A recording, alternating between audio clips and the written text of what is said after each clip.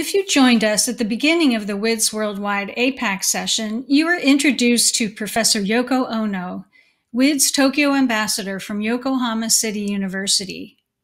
Professor Ono has hosted a number of WIDS events in and around Tokyo in the last few years, highlighting women from a wide variety of domains. In this video, you'll learn how fashion designer Emma Ree uses machine learning to inform her designs.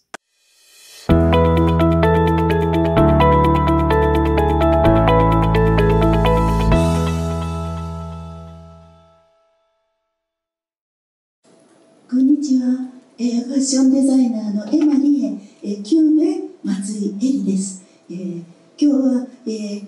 ちょびっと緊張してやってきてなんか胸がドキドキするにゃっていう感じです。でも先ほどのお二人のお話すごく感銘を受けました、えー、私がやってきたことにちょっとああの恐れながらシンクロしているようでとっても嬉しいです、えー、では、えー、よっこらしょ。サイエンスとファッションの融合思考と感性を共にっていうお話を今日していきたいと思います。あ皆さんデータサイエンスとファッションいえって皆さんお思いですよね。その絵が今日の私のお話になります。で最初にまず自慢から始めましょう。ええっと数学者の方たちとコラボをしてきました。で、えっと、アメリカの数学ッホリゾンズで、えー、編集長が取り上げてくれました、えー、数学者は服を着る。では数学を使うファッションデザイナーがいるのになぜ驚くのだろう。そしてそして私あこれがあその時の記事です、えっと、3ページか4ページにわたって、えー、特集してくださいました。そして次ネイチャーです。いやネイチャーに乗ったよってあのボートよりネイチャーかよって最初言われました。で真のナチュラルスタイル。ナチュラルだよね。スタイルは科学から取り入れたアイデアはファッショナブルだ。ということでこの記事を書いてくださいました、えー、だんだんと細胞が成長してそして朽ちていく形。そして脳。脳がテーマの章が多いので、えーと脳の形。そして脳は何を美しく感じるんだろうか？ということでフィボナッチ数列のドレスなどを作りました。そして今日は女の方が見てくださっているので大好きな女性たち、えー、女性たちに向けてちょっとまた自慢。あまたまた ごめんなさい、えーと、ニューヨーク・タイムズにも載ったにゃっていう話でこれは無重力ウェディングドレスが JAXA さんと,、えーと、コラボしていた時の、えーとが載りました。このえーと、これを書いてくださった方がなんとアインシュタインラブを書いた、えーと、物理学者でなおかつ記者の方です。そしてこれです。女性たちへ、えー、ドラマの「大和なでしこ」というドラマがあったんですがいま、えー、だに、えー、このドラマを見た女性たちがオートクチューのドレスを作りに来てくださいます、えー、その当時なんか小学生だった子たちもいっぱい来てくださいます。そしてじゃーんドラマの映画、えー、ドラマと映画「羽織団子のウェディングドレス」これは大富豪の F4 からの贈り物のドレスでした。仮縫いをつけて映画会社さんが作らせてくださいました。と皆さんの注目を集めたところで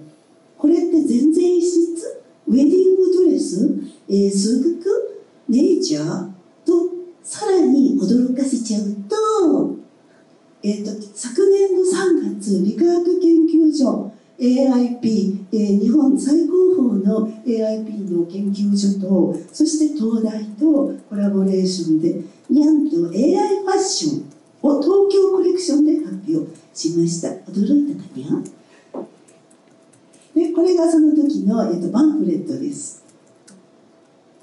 でさあここでその、えーと、ショーの取っかかり7分だけを、えーと、お見せします。適材性生成ネットワークというアルゴリズムを使ってファッションショーしました。では VTR スタートです。にゃにゃで、えーと、曲もオリジナルで作りました、えーえーと、新進の作曲家でありアーティストである、えー、立石樹寛さんが音楽を作ってくださってさらに映像作家も協力して作りました。ただいまビデオ調整中です。調整中調整中。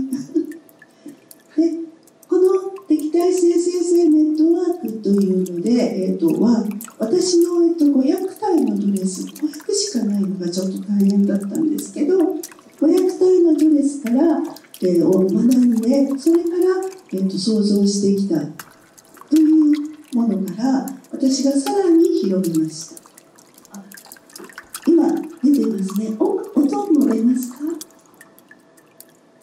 これは、えー、と最初のこの辺りは数学者の方とのコラボレーションで、えー、と東大の相原和之さんとのコラボレーションで作ったドレスです、えー、と数学者とのコラボ。から次に AI に行くぞっていう感じです。これはカオス工学の皆さんたちが大好きなロジスティック写像分岐図です。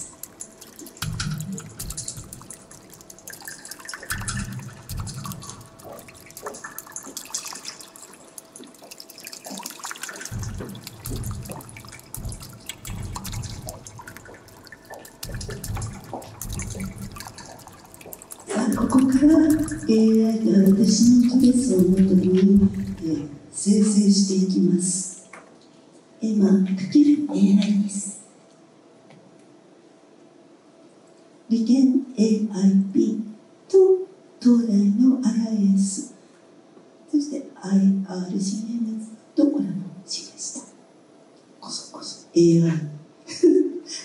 エマです。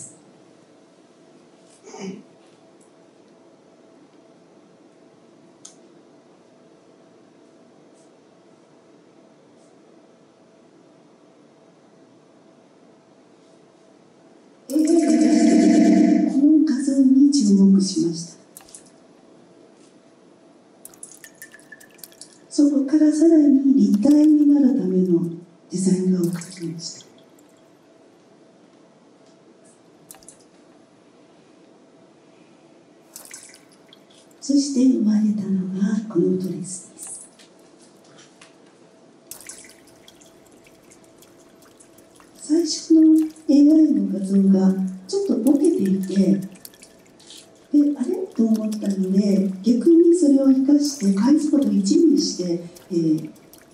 プリントをしました。プリントの絵柄を作りました。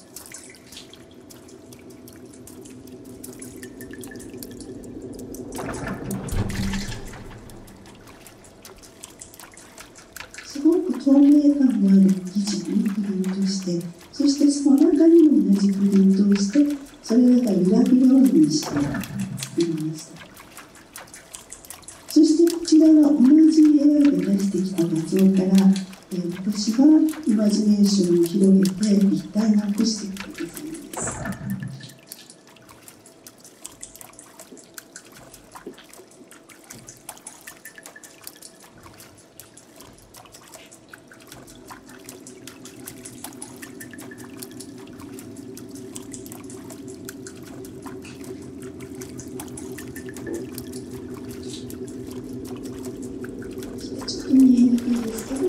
私が目をつけた画像です最初 AI が出してきた画像はちょっとなんとなく私を超えてねいななんて思っちゃったんですけれども、えーと、それからまた AI とともに出したお洋服があるのでそれも後に読みかけます。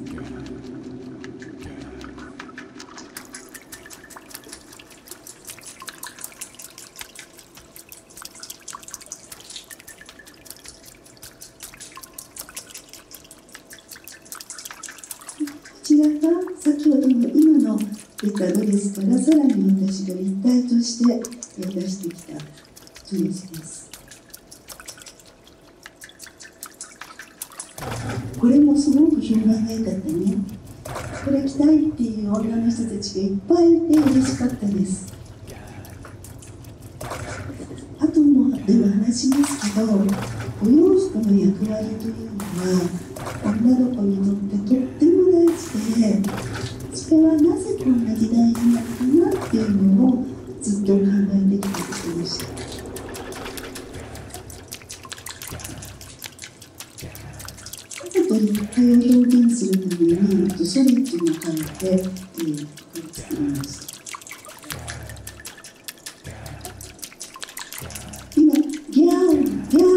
っていうのがこの立体性生成ネットワークっていうアルゴリズムで AI っていうのを入れてこれがあの大好評だったみたいです AI のブスっていうカナダでやった世界の世界最高峰の学会で、えー、医学研究所の方が発表したんですが、えー、この、えーと、音楽がまた良かったねって言われたみたいです。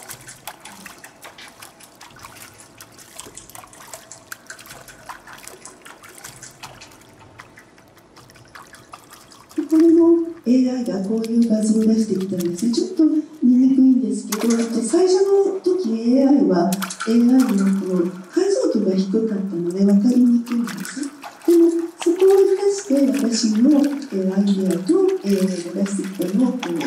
combine して作りました。これは私が考えないものもちょびっとちょびっとっていうか AI が出してきてくれたのでそれをもとに、えデザインをしてそして、えーと設計図を自分で書きました。えー、普通のパターンがっていうか設計する人はこれは嫌だって言ったので自分で頑張って作りました。えー、どんな形でも、えーと、設計できるですよ。なんちゃってまた自慢ですけど。こ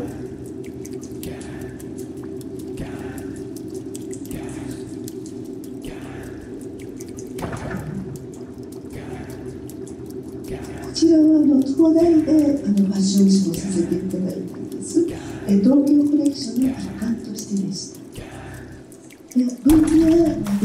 これで終わりな感じです。あとまたあのどんどん出していきますが、これがその後で、えーと、モデルたちが出てきたドレスです。こちらはあの数学の考え方で、えー、解像度ですね。えっ、ー、と、解像度じゃない、回転、ごめんなさい。あ緊張してるにゃ、えっ、ー、と、回転と、えっ、ー、と、か拡拡大とねじりっていう意味で、えっ、と、貝をイメージして作りました。そしてこちらが、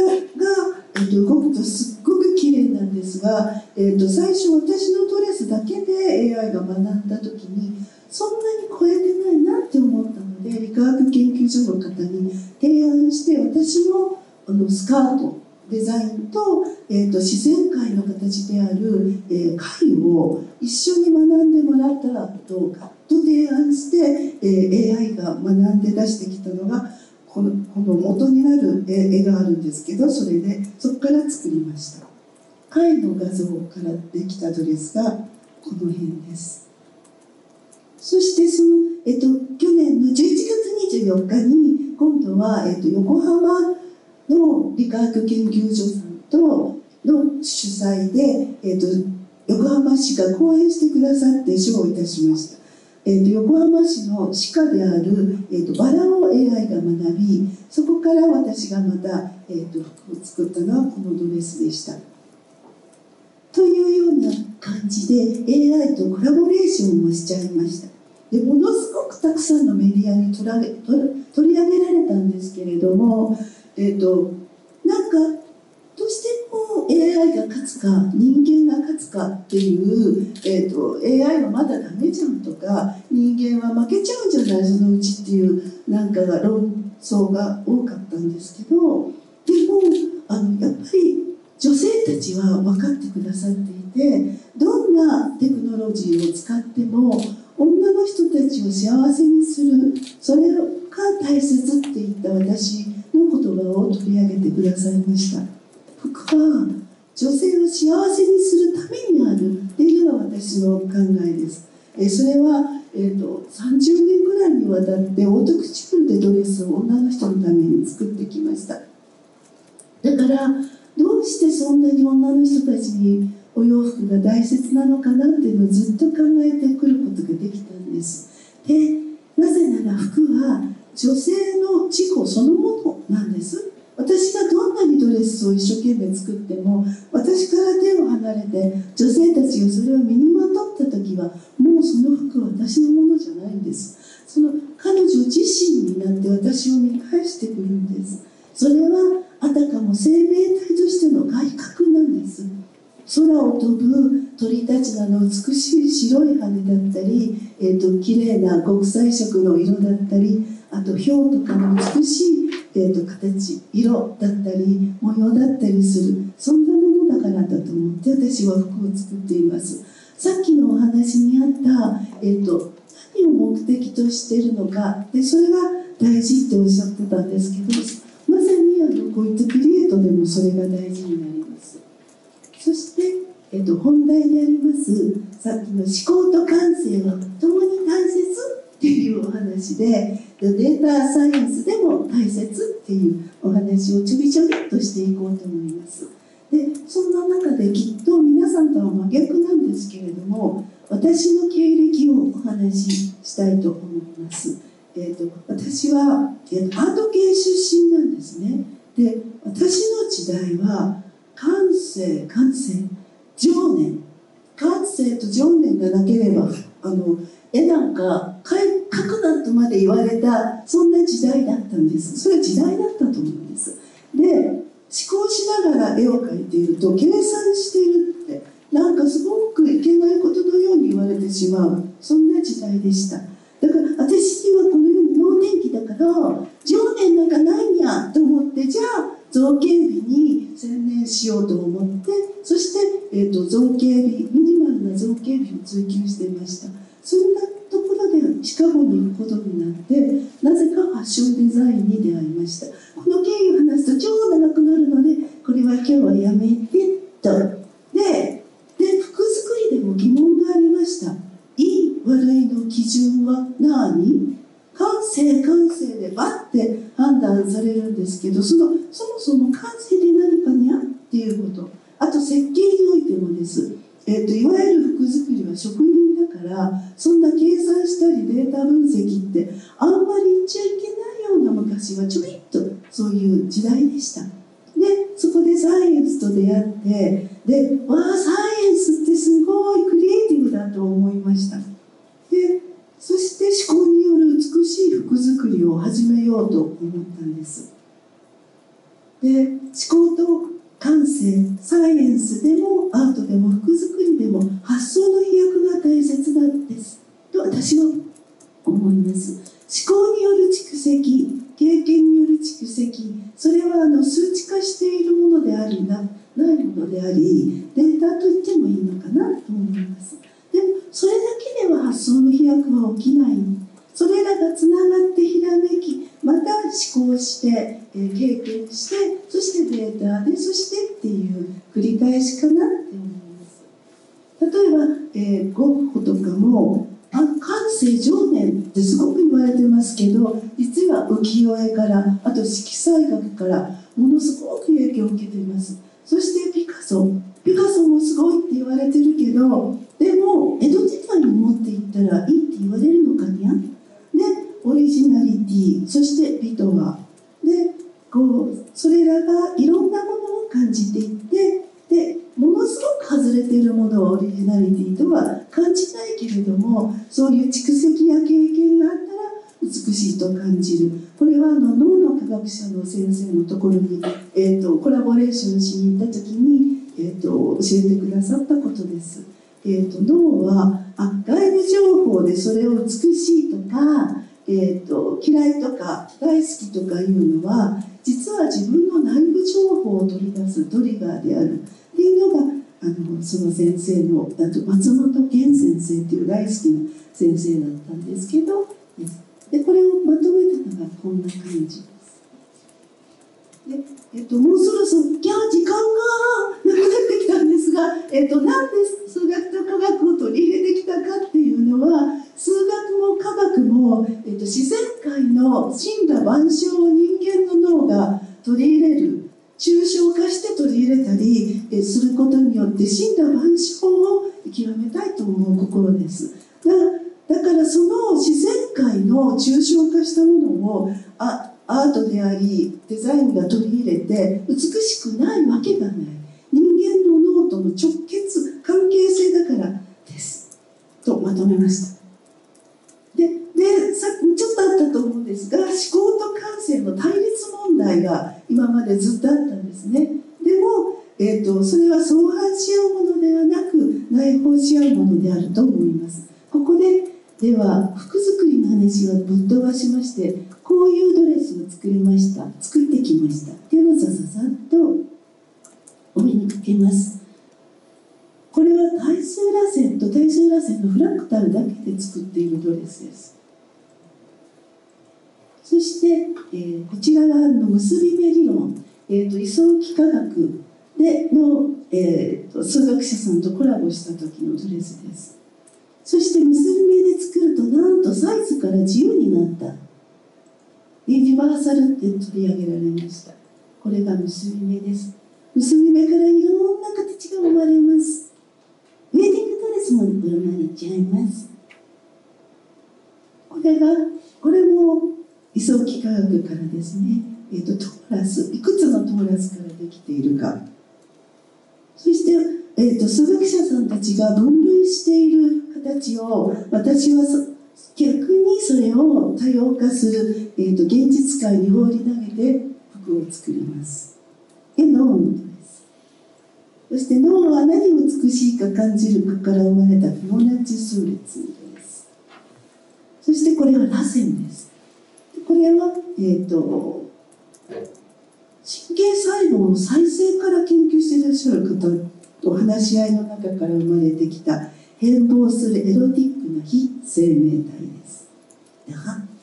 これも結構簡易です。そしてこれがマスマティカっていう数学ソフトからと一緒にコラボしたものです。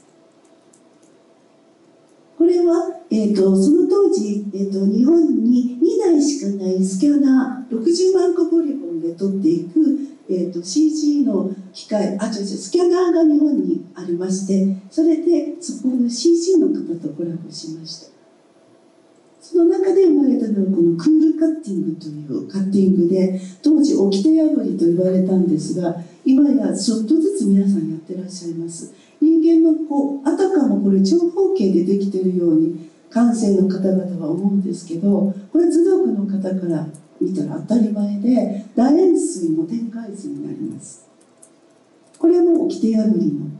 すごい面白い形が次々に生まれます。これはあの見たらバッチリわかるフラクタルです。ガーン。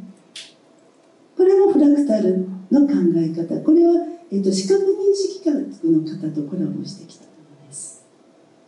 でじゃんじゃんじゃんと見ていきましょう。先ほどのフラクタルであり対数螺旋です。でこれがあの、えっと、メソッドっていうか作り方自身にもサイエンスを反映されているもので、えー、さっき申しました楕円錐の中の展開図であったり人間の体をどのようにカッティングするかによって思いもかけない美しい形が生まれます。というで多分それのパターン見たことありますよね皆さん。なんかちょっと恐れ多いような変な形なんですけど展開図。でもこれって円錐をこうやって平面で切った形がそのものなんです。こういうのを次々に考えていきました。で今お話ししたのは、えっと、私が、えっと、ちょびっと前に出版の工作者っていうところから出版した、えっと、本にいっぱい書いてありますのでお時間があったら、えっと、読んでみてください、えっとえー、なかなか売れないんでありますがあの、えっとアメリカのメトロポリタン美術館と, えーとえーと、オランダのアムステルダム市の図書館には置いてあります。で最後にですよねそろそろ。えっ、ー、と20世紀のファッションは、えー、実は大量生産時代の、えー、恩恵だったんですね。もともと人間の体って多様性がありますよね。すごくいろんな形をしています。でも大量生産は一つの型で作らなければならない時代でした。そして先人たちが一生懸命考えてグループ化分けして今の5号7号9号11号そういうグループ化したサイズが生まれました。でももともと人間の体はグループ分けされるわけではないんです。しかもサイズだけじゃなくて、えっと、形状が違います。ただ縦割りも違います。縦の長さが全然違います。で今こそ一人一人の形状に合うお洋服を進んだテクノロジーを利用して、えー、作りたいなっていうのが私の今の野望です。それはオートクシュデザイナーとして作ってきてそして女の子たちにドレスを作った時にもう本当になんて喜んでくださるぐらい綺麗なんです。ついこの間も普通の洋服を、えーと、作りました。もうキャッキャッキャッキャしてもうちっちゃい女の子のように喜んでくださいました。だからまたそういう時代が来ます。あのテクノロジーを使ってデータを使いながらやっていきたいと思います。そして、えーと、今まで傷んだ傷んだと呼ばれていたんですけれども、えーと今はど真ん中にあるというふうに言われました。えーと、アメリカ一のコンサルティング会社さんが何を思ったかインタビューに来てくださって私のやっていることは今はど真ん中であるって言ってくださいました。あれいつの間にかみたいな。でそれですごく嬉しかったです。で4月から、えっと、ファッション界では異端ってまたされてたんですがファッションテクノロジーの学校で教えることになりました、えー、とぜひえーと、あの理系と文系が分断されているってさっきもあのおっしゃってましたけれどもぜひ理系と呼ばれている皆さんもファッションへそしてファッションが大好きな皆さんも思考の世界へぜひいらしてください、え、私の蓄積したデータは全て開示したいにゃって思っています。皆さんどうも今日はありがとうございました。